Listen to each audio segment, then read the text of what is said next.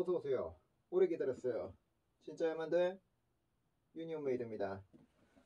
자, 그, 어저께, 지난 편 유튜브 진짜 야만 돼 보셨던 분들, 제가 말했습니다. 그 제 블로그를 통해서 얘기했습니다. 다 연계돼 있어요. 진짜 야만 돼.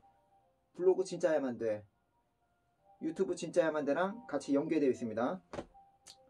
그 블로그에서도 발로 stamping kick을 하고 이거 44 사이즈 아주 big 사이즈 양키 사이즈를 제가 이 슬픈 계산법으로 통해서 지난편 보시면 알 수 있어요.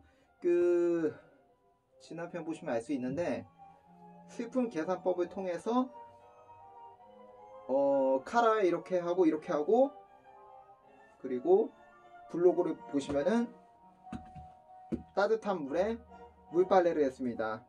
발로 스탬핑 킥을 했습니다. 그리고 다 말은 이게 결과물입니다. 참고로 제 스펙은 정확히 말해서 한 97 정도 됩니다. 95에서 104인데 정확히 한 98, 7, 8 정도 돼요. 근데 이게 처음에 입었을 때는 진짜 띠래 보이고 막 정신적 장애자 같았어요. 엄청 부해 보이고 꼬마이가 아빠 옷 입은 것처럼 보였습니다. 그러나 제가 그 지난번 지난편 유튜브를 통해서 설명해 드렸듯이 슬픈 계산을 하고 블로그에서도 뭐 따뜻하게 물 수축 해가지고 지금 다 마르고 입은 상태를 입은 겁니다. 자 지금 차로 똑바로 해볼게요. 객관적으로 평가해 주세요.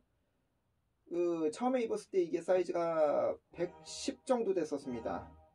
근데 지금 차로 똑바로 했어요. 연출 셔트 안할 거예요. 그 45도 각도 그리고 90도 각도 띠띠띠띠 띠띠띠띠 띠디디 띠디디디디디디 띠띠띠띠 띠띠띠띠 뭔 말인지 알죠? 토요명화 아카데미 그 트로피 돌아가는 거 이 노래와 함께 같이 나오잖아요. 에 그냥 냉정하게 한번 평가해 주세요. 어떻습니까? 그 95, 6, 7, 8 정도 되는 제가 이거를 지금 입었을 때 체감상 에, 한 105 정도 됩니다. 처음에 입었을 때 한 110 정도 좀 더 커 보였는데 지금 제 체감상 그렇게 큰 위화감은 아마 없을 거예요. 자, 그 30년대 LM빈 이 자켓 그 슬픈 계산법은 이로써 완료되다고 생각하고요. 그리고 또 다른 슬픈 계산 한 사례가 있습니다. 뭐냐면은 에, 가만히 있어보자. 일단 이거 벗을게요. 원래 이렇게 안 입는 건데 제가 제 스스로 응용했습니다. 어제와 같은 티라서 미안합니다. 그냥 자꾸 이것만 입게 되더라고요.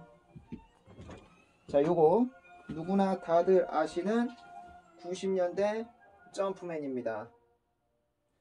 옛날에 많이 보였는데 요즘 이거 잘 안 보이더라고요. 그래서 이거 가격도 많이 올랐는데 레더 8. 자, 요것도 마찬가지로 표기상 M입니다. 근데 이 당시 90년대 때 M 이게 뭐랄까 실제 입으면은 이것도 한 105에서 한 110 정도 되더라고요. 그 당시 90년대 특유의 그 우드 fit 뭔 말인지 알죠? 어깨 막 부하게 나오고 막 팔도 완전 한복처럼 나오고 그래서 이 tag만 보면 나도 입을만 했어요. 근데 막상 받아보고 나니까 엄청 부하더라고요. 한번 입어볼게요. 이게 처음에 입었을 때는 엄청 부했었어요. 근데 기적 같은 현상을 제가 또 슬픈 계산법으로 통해서 이뤄냈습니다. 자, 그 비밀은 요겁니다. 자, 제가 일단 무릎 꿇을게요. 어깨가 입으면 여기까지 왔었는데 이 우유 부분을 오므려서 제가 여기 꼬맸습니다. 안으로. 이렇게 보시면 잘 안 보일 테지만은 이렇게 안으로 해서 이렇게 박았습니다. 제가 이만큼 접어가지고 이만큼을 꼬맸어요. 이거를 뭐 수산집 가면은 어깨 줄이는데 돈이 많이 드는데 저는 돈 일절 안 들리고 이만큼 안으로 접어서 스티치 했습니다. 그리 어렵지 않아요. 근데 스티치 하다 보니까는 겉에서는 전혀 티가 안 나요. 자, 겉에서는 전혀 티가 안 납니다.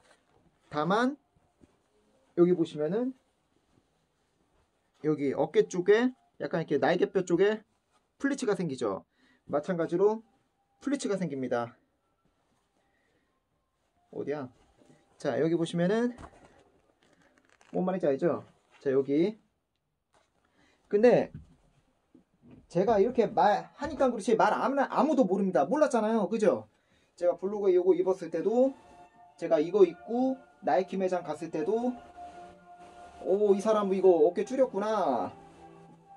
오 여기 등에 여기 플리츠 어깨 쪽에 플리츠 잡힌 거 보니까는 뭐 이 사람 어깨 줄였구나 등 줄였구나 이렇게 생각하는 사람이 이 세상에서 아무도 없어요. 이렇게 자세히 보는 사람 없습니다. 자 한번 제가 입어볼게요. 이게 이만큼 오므렸으니까 망정이지 안 오므렸던 어깨 여기 처음에 이 정도까지 왔었어요 어깨가. 이것도 마찬가지로 이 정도. 자 한번 입어볼게요.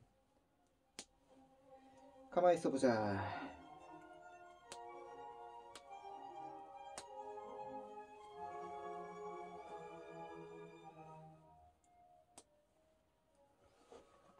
자, 어떻습니까? 처음에 입었을 때는 한 105 정도 됐었습니다, 이것도. 자, 차를 똑바로 하고, 아카데미 시상식, 삐삐삐삐, 삐삐삐삐, 삐삐삐, 삐삐삐삐삐삐삐. 어떻습니까? 그, 처음에 엄청 컸었던, 저 LM빈 30년대 자켓과 요 90년대 나이키 점프맨 자켓 돈 2절 안 들리고 저만의 슬픈 계산법이었습니다. 자 어떻게 뭐 뭐, 뭐, 그냥 뭐 수지 가서 뭐 돈 들여서 할 수는 있어요.